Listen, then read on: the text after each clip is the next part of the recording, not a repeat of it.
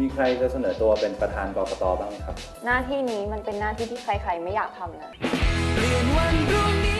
ค่อนข้างมั่นใจว่าคนของผมโดนซื้อครับ เขาทำวิธีสกปรกแล้วเราทำไมต้องไปใช้วิธีสกปรกตามเขาด้วยวะ ก็คนดีมันมัวแต่ซื่อๆแบบนี้ไง คนโกงมันอยู่ชนะตลอด นี่แหละมันคู่แข่งที่สมน้ำสมเนื้อ